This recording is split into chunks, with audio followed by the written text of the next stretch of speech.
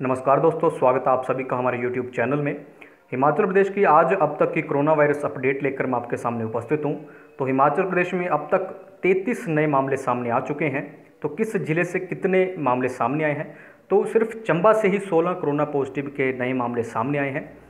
हिमाचल प्रदेश में बुधवार को 33 कोरोना पॉजिटिव मामले सामने आए हैं। चंबा में 17, ऊना में 8, हमीरपुर और कांगड़ा में चार चार नए मामले सामने आए हैं।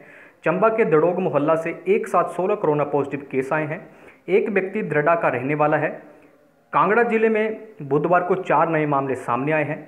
मुंबई से लौटा डाडा सिब्बा का 22 वर्षीय युवक, पश्चिम बंगाल से लौटा शाहपुर का 22 वर्षीय युवक, कोरोना पॉजिटिव के संपर्क में आने से संक्रमित हुआ मजीण का 25 वर्षीय युवक, पालमपुर में लेह से लौटा 33 वर्षीय व्यक्ति कोरोना संक्रमित पाया गया है।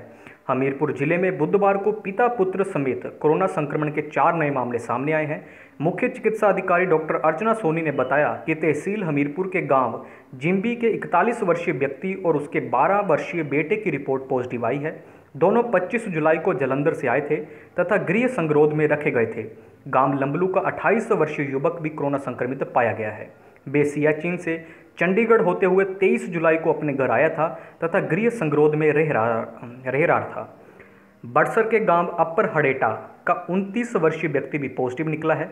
वे 29 जुलाई को मुंबई से लौटा था और उसे संस्थागत संगरोध में रखा गया था। मुख्य चिकित्सा अधिकारी ने बताया कि चारों संक्रमितों को कोविड केयर सेंटर में शिफ्ट किया जा रहा है।